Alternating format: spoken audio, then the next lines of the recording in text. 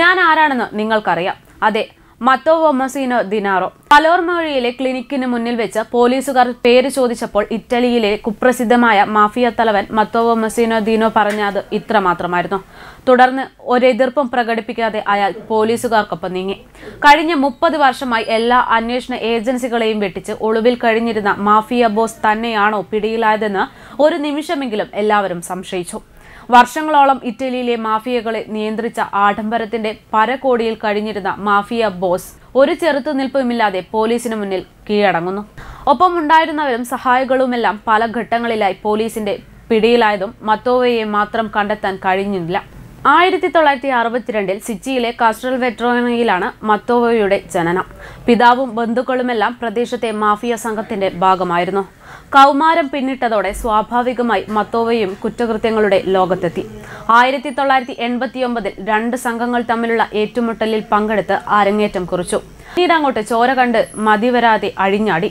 Hotel ഉടമയെ കൊലപ്പെടുത്തിയതായിരുന്നു ആദ്യ case.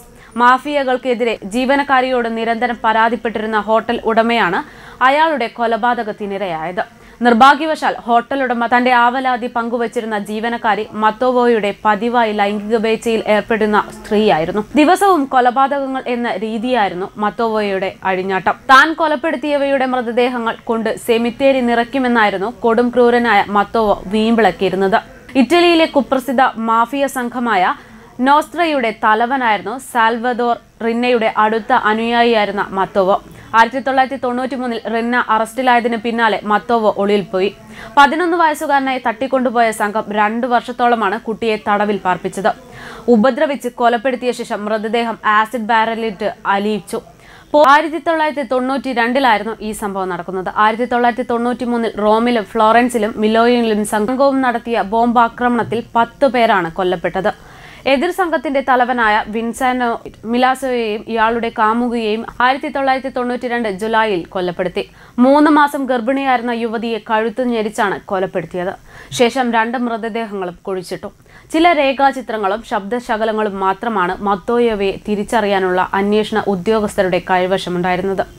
കാലക്രമേണ മത്തോവോ എന്ന കൊടും കുറ്റവാളി ശൃംഖലയിൽ ഉൾപ്പെട്ട കണ്ണികളെയെല്ലാം വലയിലാക്കി വർഷങ്ങളായി ഒളിവിൽ കഴിയുന്ന മത്തോവ് അസുഖബാധിതനാണെന്ന അഭ്യൂഹം ഫോൺ സംഭാഷണത്തിലൂടെ ചില സൂചനകൾ വഴിത്തിരിവായി. ഫോൺ ഉപയോഗിച്ചാൽ പോലും താൻ പിടിക്കപ്പെടാൻ സാധ്യതയുണ്ടെന്ന് മനസ്സിലാക്കി ഇയാൾ രഹസ്യ കോഡുകൾ കടലാസിൽ എഴുതി നൽകിയും മറ്റുമാണ് ആശയവിനിമയം നടത്തിയിരുന്നത്. അന്തരിച്ച മുൻ മാഫിയ തലവനായ ലിയോണാർഡോ ബോണഫെഡിന്റെ സഹോദരനായിരുന്നു ആന്ത്രിയ.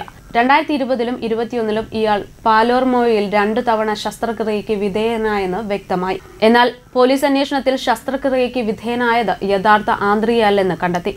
ശസ്ത്രക്രിയ നടന്ന ദിവസം യഥാർത്ഥ ആന്ത്രിയുടെ മൊബൈൽ ഫോൺ ലൊക്കേഷൻ പാലോർമോയിൽ നിന്ന് ഏറെ അകലെയായിരുന്നു. ഇതോടെയാണ് ആന്ത്രിയ എന്നയാൾ മത്തോവയാണെന്ന സംശയം ഉദ്യോഗസ്ഥർക്ക് ബലപ്പെട്ടത്. കഴിഞ്ഞ തിങ്കളാഴ്ച ആന്ധ്രയുടെ പേരിൽ പലർമയിലെ ക്ലിനിക്കിൽ കീമോതെറാപ്പിക്ക് ബുക്ക് ചെയ്തിരുന്നു.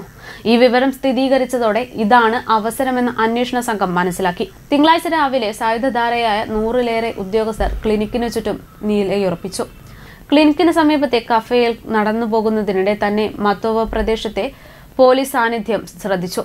കൂടുതൽ പോലീസുകാർ തെരുവ് വളഞ്ഞെങ്കിലും ഓടി രക്ഷപ്പെടാൻ പോലും അയാൾ മുതിർന്നില്ല. ഒടുവിൽ പോലീസുകാരൻ പേര് ചോദിച്ചപ്പോൾ നിങ്ങൾ അന്വേഷിക്കുന്നയാൾ ഞാൻ തന്നെയാണ് എന്നതാണ് അയാൾ പറഞ്ഞിരുന്നത്. News desk Karma news.